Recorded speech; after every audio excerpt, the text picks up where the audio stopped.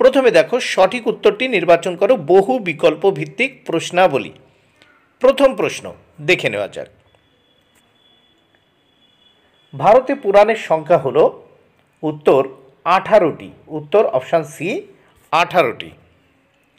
দুই নম্বর প্রশ্ন, ইংরেজিতে প্রি হিস্ট্রি কথাটি প্রথম ব্যবহার করেন, উত্তর অপশান বি ড্যানিয়েল ওয়েলসন। তিন নম্বর প্রশ্ন ইতিহাসের জনক বলা হয়, উত্তর অপশান বি হেরোডটাসকে। ইতিহাসের জনক বলা হয়, অপশান বি হেরোডটাসকে। চার নম্বর প্রশ্ন। পুরাতন প্রস্তর যুগে আদিম মানুষের ব্যবহৃত সবচেয়ে গুরুত্বপূর্ণ অস্ত্র হল অপশান ডি হাত কোঠার।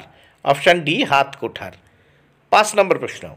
নব্যপ্রস্তর যুগের অন্যতম বৈশিষ্ট্য ছিল অপশান ডি কৃষি প্রযুক্তির ব্যবহার। ছয় নম্বর প্রশ্ন।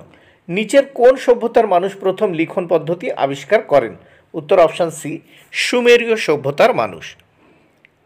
সাত নম্বর প্রশ্ন, গ্রিসের নগর রাষ্ট্রগুলির অন্যতম অংশ ছিল?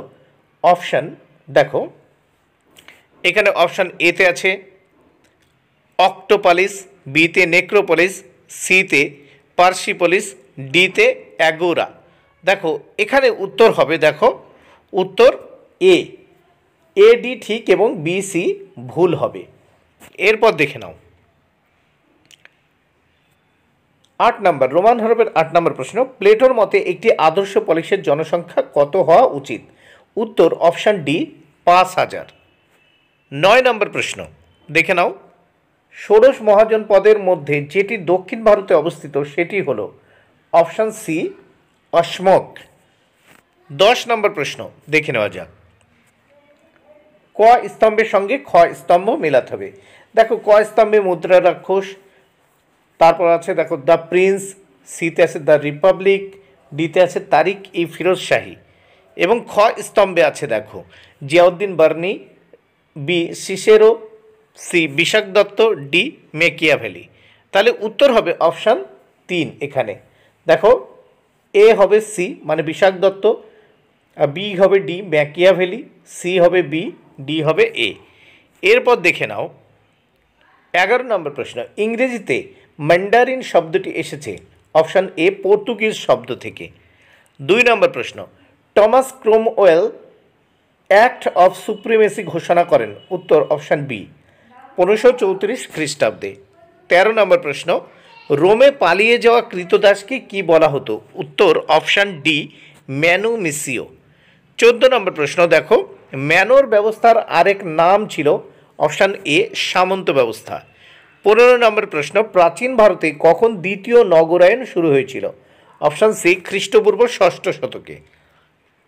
ষোলো নম্বর প্রশ্ন, গ্রিক দূত মেগাস্তিনিস মৌর্য যুগে ভারতীয় সমাজের কটি জাতির উল্লেখ করেছেন?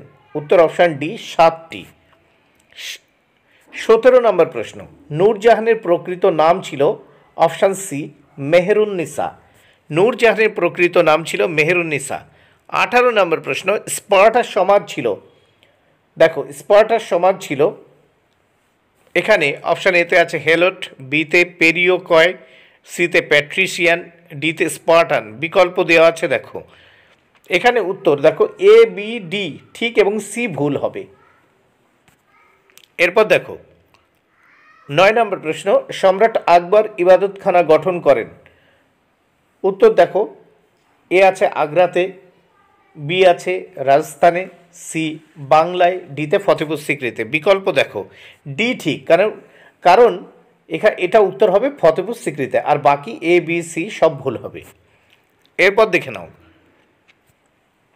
কুড়ি নম্বর প্রশ্ন, প্রথম ক্রুসেড বা ধর্মযুদ্ধ শুরু হয়েছিল। উত্তর অপশান বি, এক হাজার এক হাজার ছিয়ানব্বই খ্রিস্টাব্দে। একুশ নম্বর প্রশ্ন। প্রথম খলিফা হলেন, উত্তর হজরত Abu Bakr. Option B is the right answer, Abu Bakr. প্রথম খলিফা হলেন Abu Bakr. Option B is the right answer. বাইশ নম্বর প্রশ্ন, কোন দেশে প্রথম মুদ্রার যন্ত্র আবিষ্কার হয়?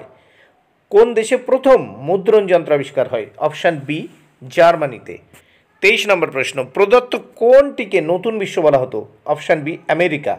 প্রদত্ত কোনটিকে তেইশ নম্বর প্রশ্ন, প্রদত্ত কোনটিকে নতুন বিশ্ব বলা হতো? উত্তর, অপশান বি, আমেরিকা।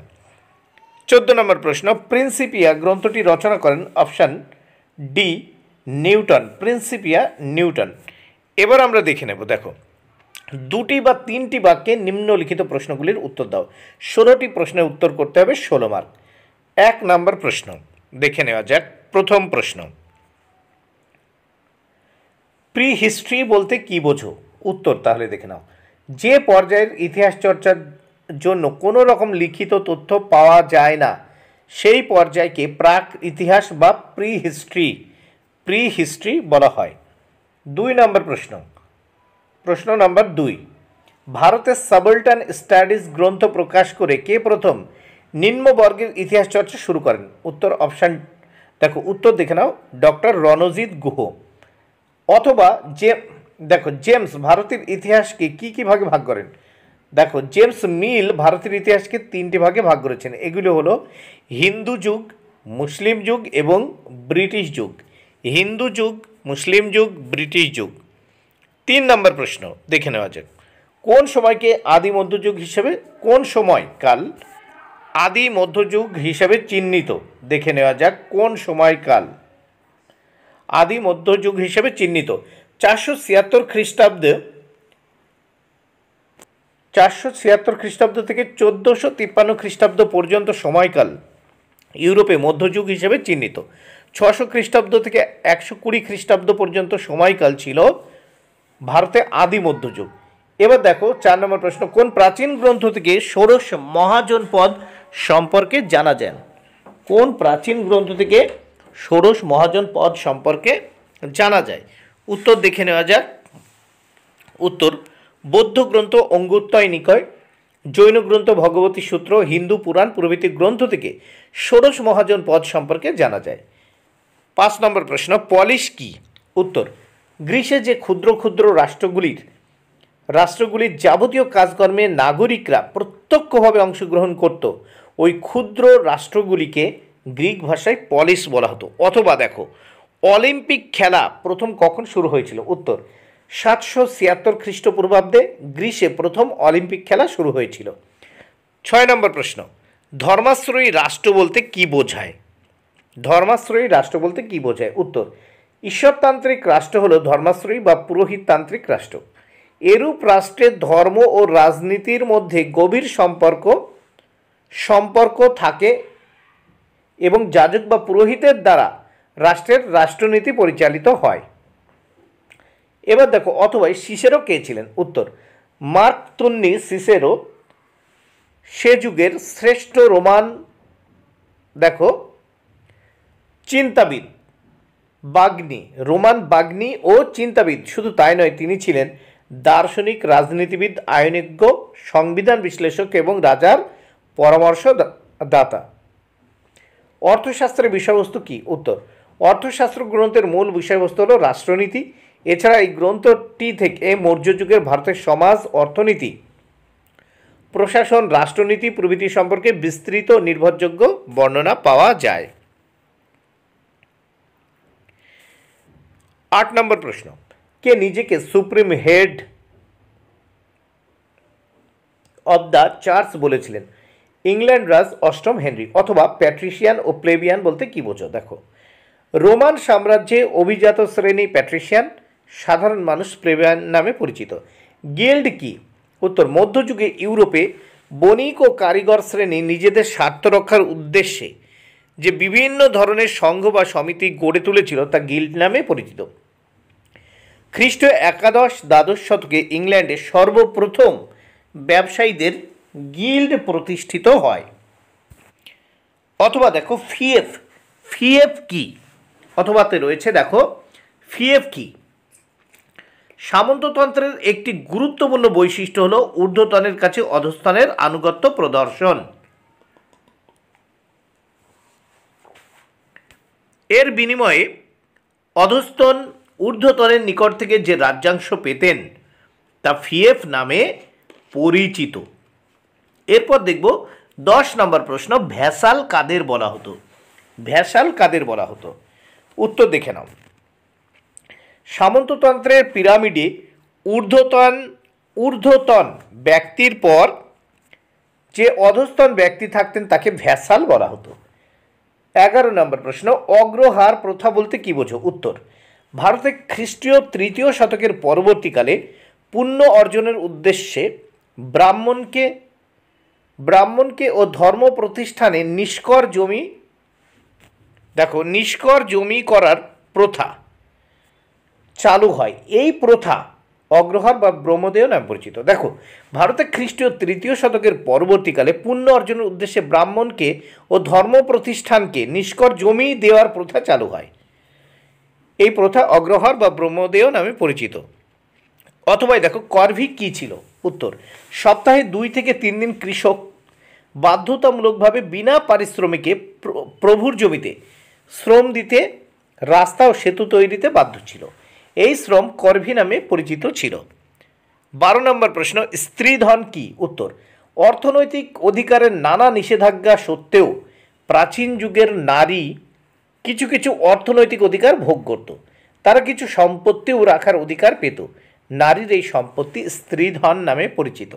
অথবা দেখো, অগ্নিকুল তত্ত্ব, তত্ত্বটির প্রবক্তা কে? অগ্নিকুল তত্ত্বটির প্রবক্তা কে? উত্তর।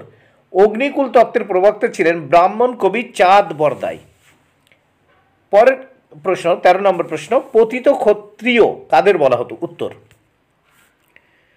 মৌর্য ও মৌর্যোত্তর যুগে ভারতের বিভিন্ন বিদেশি ও অনার্য জাতি যেমন শক, হুন জবন মল্ল প্রভৃতি ভারতে পাকাপাকিভাবে বসবাস করতে শুরু করে। নিজেদেরকে ভারতীয় সমাজের অঙ্গীভূত করে নেয়। এই জাতিগোষ্ঠীগুলিই ব্রাত্য ক্ষত্রিয় ক্ষত্রিয় বা পতিত ক্ষত্রিয় নামে পরিচিত ছিল। চোদ্দ নম্বর প্রশ্ন, আধুনিক বিজ্ঞানের জনক কাকে কেন বলা হয়? উত্তর, আধুনিক বিজ্ঞানের জনক বলা হয় বিজ্ঞানী রবার্ট বয়েলকে। তিনিই প্রথম অপরসায়নবিদ্যার ব্যর্থতা সাধারণ মানুষের কাছে তুলে ধরেন। অথবা দেখো, টু নিউ সায়েন্সেস গ্রন্থটির রচয়িতা কে? উত্তর, খ্যাতনামা জ্যোতির্বিজ্ঞানী গ্যালিলিও গ্যালিলেই।